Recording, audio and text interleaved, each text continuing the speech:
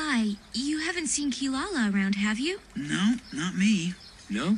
Something happened to Kirara? I haven't seen her since I woke up. She was already gone. Maybe she went for a walk. Hmm? I don't know. She would never go off without telling me. Is it possible she could have run away? Maybe she's just in heat. Or at that rebellious stage. Huh? What are you guys saying? You're supposed to be reassuring her, not making her worry.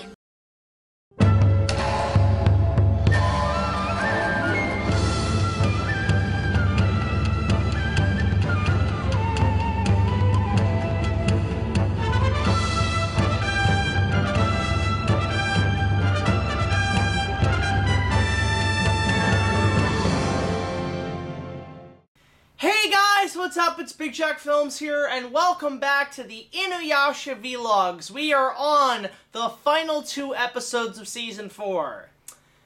Though I know technically for those who are hardcore fans who have the DVDs, no, they are not the final two episodes, but hey, my show, my rules, I'll discuss it later. So, um, we are on the second last episode this week, and then next week we do essentially the season finale. And that, of course, being this episode um, titled uh, Kirara Come Home. Now, I should point out that I have not been the biggest fan of season four. I felt the filler episodes have been completely some of the worst of the series, some of the worst episodes. But unfortunately, this is one of those filler episodes, but it wasn't as bad as I thought it was. It was kind of pointless, to be honest, but it did have some merits. So, what's the story in this one?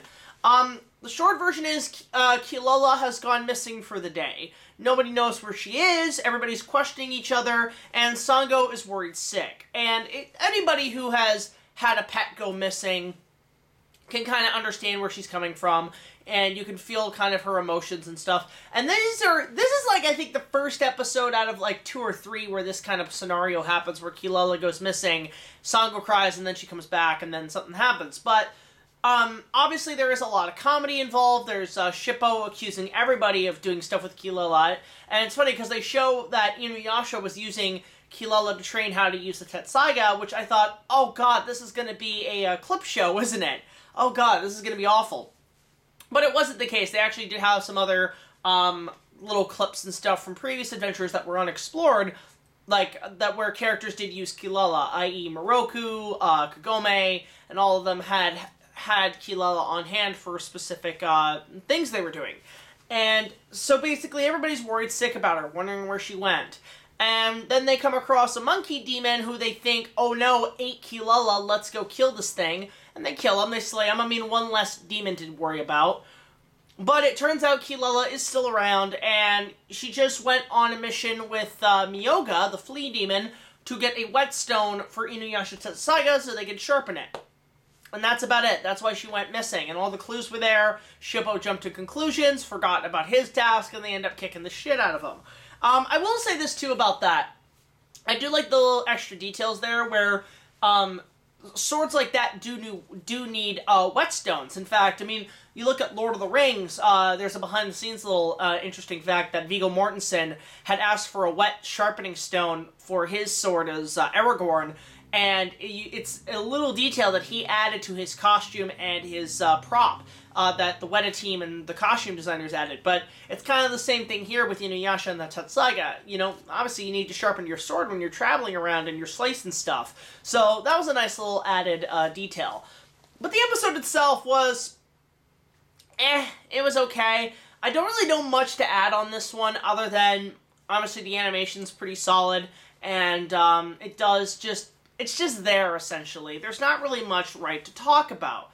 But in terms of why I think these are the last two episodes of the season, I might as well bring this up now before we get to the season finale. Um, is the fact that these are the last two episodes of the series to include uh, cel animation.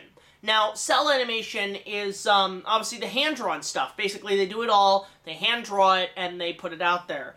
And then come the turn of like 2000, uh, I want to say t- late 2003, mid 2003, when season four aired. Um, or actually, no, this was also 2002, actually, my, my mistake, 2002. Um, a lot of anime started to make the jump to digital. Uh, a lot of shows, in fact, made the jump to uh, computer and uh, digital uh, animation. Now, they still had the same anime, like it was still hand drawn animation, it was just all done in the digital realm to make things a lot easier for the animators and be more environmental.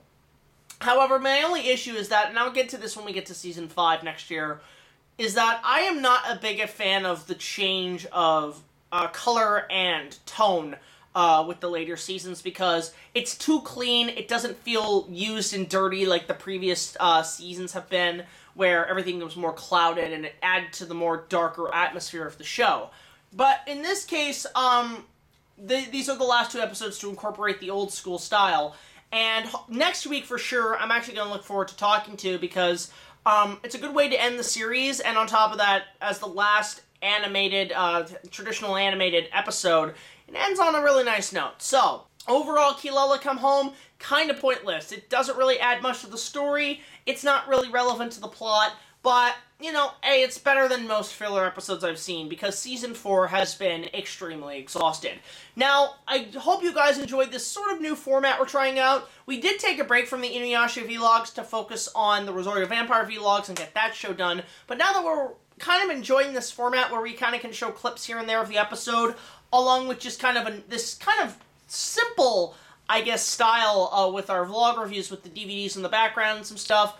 Um, this might give you a bit more entertainment value, so if you like this format for the vlogs going forward, let us know in the comment section below. So, obviously, let us know your thoughts on uh, Kirara Come Home in the comments below. Support our Patreon, just a dollar more will get you access to all of our content, as well as other special features.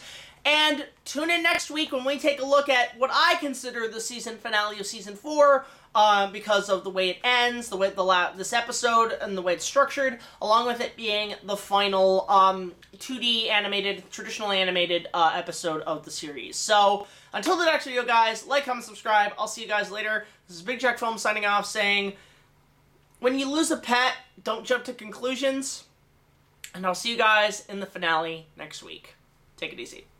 And yes, I have been chewing gum.